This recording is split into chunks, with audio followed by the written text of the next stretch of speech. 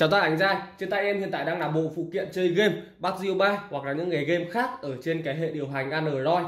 Ở một cái bộ phụ kiện khá là rẻ các anh có thể thấy ở đây. Bộ phụ kiện của em cũng có là bàn phím G92 bàn phím ờ, phiên bản mới các anh ra nhé.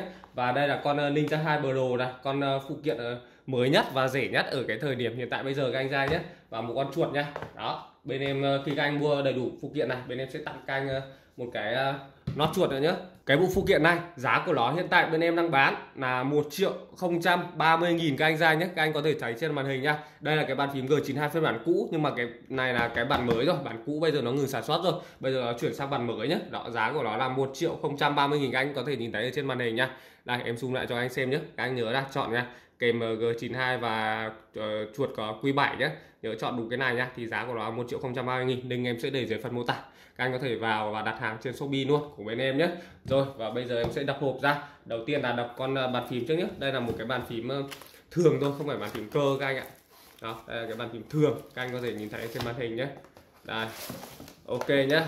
Đó cái bàn phím thường nhé em sẽ bấm thử này tiếng uh, kêu của nó thì khá là nhỏ thôi do nó là bàn phím cao su bàn phím bình thường nên là thành ra tiếng kêu của nó cũng khá là nhỏ. Tiếp theo là cái con uh, chuột này con chuột này của K Select này.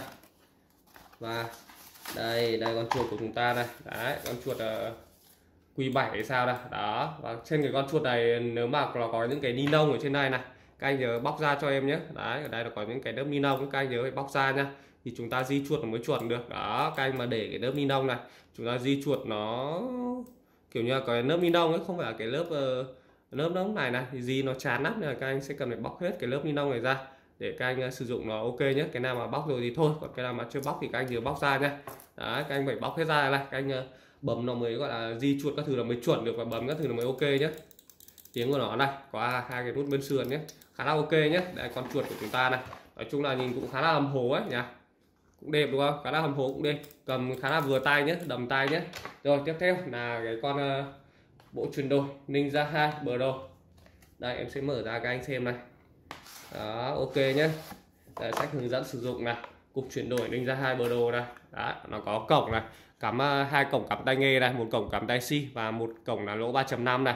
Một lỗ này để cắm chuột này lỗ bên này là cắm uh, bàn phím này lỗ trên này để cắm uh, từ cục pin ra 2 Pro vào điện thoại này mà các anh kết nối cắm dây nhé và cái lỗ trên này là để cấp nguồn. Đó nó rất là nhiều lỗ luôn.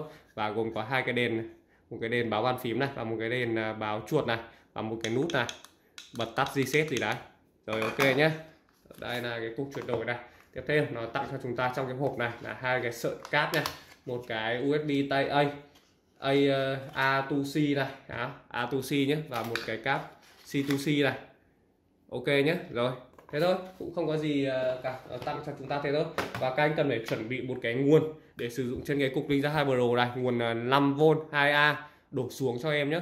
Các anh dùng nguồn cao hơn ấy thì rất có thể là nó sẽ dẫn đến cháy hoặc là hỏng cái cục linh ra hai Pro này. Nếu mà nguồn cái công suất của các anh nó cao hơn, các anh nên nhớ là chọn cho em 5V 2A khoảng 10W đổ xuống ấy. 10W thôi nhé. Đừng có chọn cao quá 10W đến 15W thôi. Đừng có chọn cao quá nhé. Cao quá là nó sẽ hỏng cục này. Là bên em sẽ không bảo hành được đâu. Cháy lủng là Ờ, các anh dùng nguồn công suất cao mà nó hỏng thì không ai bảo hành được cho các anh rồi đúng không? Đấy, thế nên là các anh dùng nguồn cho em nhé nguồn ờ, 5V 2A ờ, đổ xuống cho em nhé từ 10W đến 15W thôi nhé đừng dùng cao quá nhé. Ok tất cả anh ở đây em sẽ hướng dẫn các anh cắm cái cục Ninja 2 Pro với cả các thiết bị này các anh ra nhé. Đầu tiên cái bàn phím này các anh cắm cho em vào cái lỗ bên tay trái cho em nhé. Đó cắm vào đây cho em này. Rồi ok tiếp theo con chuột này. Con chuột các anh cắm cho em lỗ bên phải này. Đó ok rất đơn giản đúng không? Tiếp theo này ở đây em có một cái dây này thì các anh sử dụng kết nối cắm dây thì các anh ờ, tháo cho em cái dây này ra nhé. Còn các anh ờ, mà sử dụng cái kết nối gọi là không dây thì các anh ờ, không phải tháo đâu. Đây cả cái dây này nữa thì tí em sẽ hướng dẫn các anh sử dụng cái hai cái dây này nha. Đấy ok. Em sẽ để cái dây này tạm đây đã. Còn cái dây này các anh cắm cho em vào cái nỗ nỗ ở giữa này ở bên tay phải nhé. Đó ở giữa đây nhé. Rồi ok. Thế là ok rồi nhé. Đấy, các anh để cái này cho em đây. Rồi tiếp theo. Cái dây này các anh cắm vào nguồn cho em này đó. Cánh đợi một chút nhá. Đây nó lên đèn rồi anh ra nhé đó lên đèn rồi. Đấy đến xạ đèn chuột lên này đèn à, bàn phím và đèn chuột lên ok rồi nhé và đèn nguồn lên này. Rồi các anh à, đặt cho em cái máy tính bảng này cho em nhé ở đây em đang sử dụng Samsung Galaxy Tab S6 ra. Đó em sẽ đặt lên này. Đó ok. Các anh ra thấy ờ, cũng khá ok đúng không? Nó như là một cái giá đỡ luôn, còn cái đầu còn lại thì ở đây màu đỏ này là đang chế độ cắm dây nhé đó nên là em sẽ đặt vào đây và em sẽ kết nối với nó luôn đó ok nhé thì cái con này à, các anh nên sử dụng cho em gọi là gì à? Ờ, giá đỡ tải nhiệt thì nó sẽ ok hơn chứ sử dụng cái con này nó không tải nhiệt chơi nó sẽ hơi bị kém một chút. Đó, ok ở đây em sẽ gọi là gì à? vào ứng dụng game game này. Đấy em cắm dây kết nối các thứ hết rồi và bây giờ em chỉ cần vào ứng dụng game game thôi. Đó em sẽ ấn ok này. Đó thì các anh thấy cái con này làm cái giá đỡ thì nhìn nó hơi yếu đúng không? Đó nhìn nó hơi yếu này. Đấy thế nên là các anh nên sử dụng một cái giá đỡ riêng mua thêm một cái giá đỡ nữa thì chơi nó sẽ ok hơn và ngon lành hơn. Ví dụ là mua một cái giá đỡ nhỏ nhỏ này hoặc là một cái giá đỡ tải nhiệt thì chúng ta chơi sẽ ok hơn nhé. Đó em sẽ để cái này lên đây nhá chứ để cái gọi là Ninja Hai Pro là cái giá đỡ trên máy tính bảng ấy thì nó hơi yếu. Nếu mà chơi trên gọi là điện thoại thì được Ninja Hai Pro ấy. Làm giá đỡ điện thoại thì ok còn uh, máy tính bảng thì em thấy nó hơi bị yếu một chút. Đó em sẽ đặt đến đây nhé. Đó cái anh ra thấy em đang di chuyển được rồi nè đấy di chuyển được rồi các anh ra chưa? Đó, di chuyển các thứ được rồi nè nó sẽ hiện lên những cái nút menu này em sẽ có thể ẩn đi này. Đó, ẩn đi này. Ok sao ẩn lên nhé. Ở đây thì cái con ờ, Ninja 2 Pro này nó có hai cái chế độ ghim tâm nhé.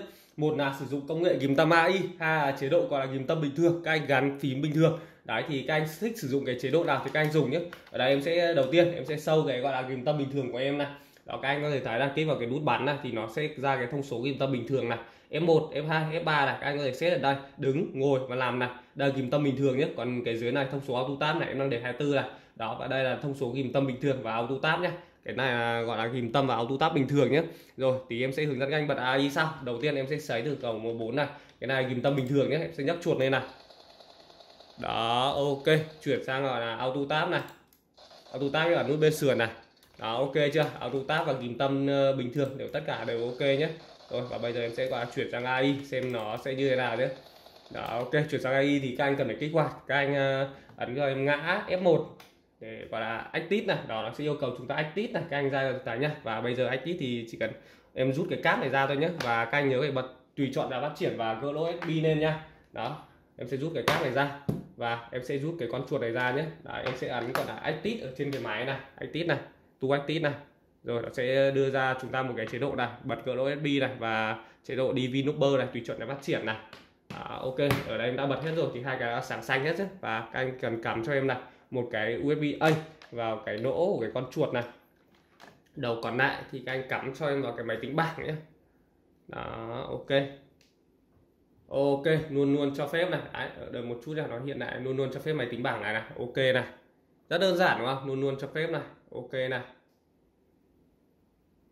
đó ở đây khả năng là nó đã được rồi sao này đấy, mà next tip này rồi em sẽ rút thử ra này ok này rồi em sẽ cắm thử lại vào xem là nó đã được chưa nhé. Đó, các anh ờ, khi anh tít xong anh có thể rút ra và cắm lại cho em cái con chuột vào nhé. Và đèn chuột nó sáng là ok nha. Đó đèn chuột sáng như này là ok này em sẽ bỏ lại cái giá đỡ này vào đây. Đấy cắm cái này vào. Tốt nhất nếu mà các anh sử dụng bàn phím chuột các anh chơi game nên sắm cho em một cái bộ tải nhiệt thật là ok nhé. Để chơi game cho nó ok nhất nhé đó nó vừa hiện lên cái nút ok mà em chưa kịp bắn em sẽ rút ra cắm lại nhé. Đó, hiện lên lại cái nút ok này ok này đấy. Em chưa kịp bắn là nó bị mất đấy rồi ok. Vào này. Khi anh đã kích hoạt các thứ xong rồi và các anh vào game nhé các anh ấn cho em ngã F1 hoặc các anh ấn cho em vào cái logo này. Đó nó có hiện lên cái chữ AI gan này các anh kích vào đây cho em. Đó sẽ nhận dạng súng AI các anh thấy chưa? Nhận dạng là M16 này em chuyển sang uh, QBZ này. Đó ờ, đã nhận dạng QBZ các anh có thể nhìn thấy trên màn hình này em ờ, sẽ đưa gần lại cái cho các anh nhìn nhé. Đó, các anh có thể nhìn thấy trên màn hình nhá này, nét vào đi. Đó, ở đây là QBZ này M4 này. Ok luôn, đúng không? Ok luôn, đúng không? Em bật cốp này. Đó, nó đây nó nhận dạng scope này. Sinh on này, các anh thấy chưa? Chuyển đổi thông số kim tâm lên 21 này, tắt cốp đi này. Thông số kim tâm còn 10 này M4 này. Đó, thông số kim tâm là không cốp là 7 này, bật cốp lên này là 28 này, các anh có thể thấy nhìn trên màn hình nhé tắt đi này. Rồi, ok này, hoặc là ngồi xuống này. Đó, thông số kim là 6 này, bật lên này. Là lúc này 28 đúng không? Bây giờ là 22 này nằm này sẽ tắt hơn này. Nằm là 16 này, đứng dậy này. 28 này, ngồi này. 22 này, nằm xuống 16 này, đứng dậy này. Đó, ok chưa? Ok chưa? Nó đã nhận dạng kim tâm AI nhé các anh bật cái nào thì nó sẽ thay đổi cái thông số kim tâm đây. Nó có một cái số đây này.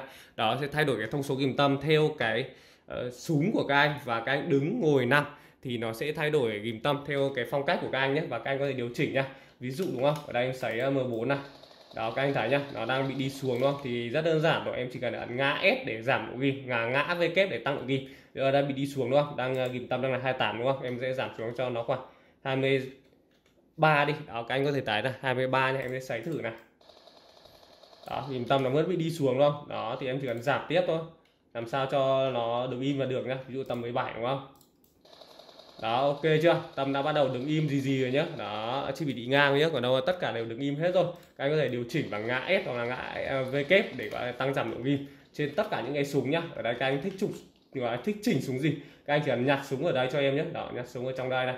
Đó, nhặt hết tất cả các súng ở trong đây. Rồi các anh chỉnh cho em nhé để làm sao các anh ghim nó sẽ, gọi là ok nhất và tâm nó đứng im được như thế này. Là ok, ngon này, các anh chỉ cần lưu lại, giúp em, là ok nhé đây là cái ghim tâm AI hỗ trợ nhé giá của cái con bộ phụ kiện này, nó chỉ có một triệu không trăm ba mươi nghìn thôi, nhưng mà nó gồm có bàn phím chuột và rất là nhiều tính năng như ghim tâm AI hoặc là ghim tâm thông thường. Thì tùy theo cái canh các anh mà thích chơi thôi. Các anh thích dùng ghim tâm thông thường thì anh dùng ghim tâm thông thường. Mà thích dùng AI thì dùng ghim tâm AI đó, nó hỗ trợ cho rất là tốt khi chơi game trên bàn phím chuột nhé rồi, cảm ơn các anh ra xem ờ, video của thằng em nhé có gì các anh ờ, đặt hàng link em sẽ để dưới phần mô tả các anh đặt hàng. Ủng hộ thằng em nhé. Rồi, cảm ơn các anh nhé. Xin chào các anh bye bye nhé. Đặt hàng để em có thể hỗ trợ và tư vấn cho các anh.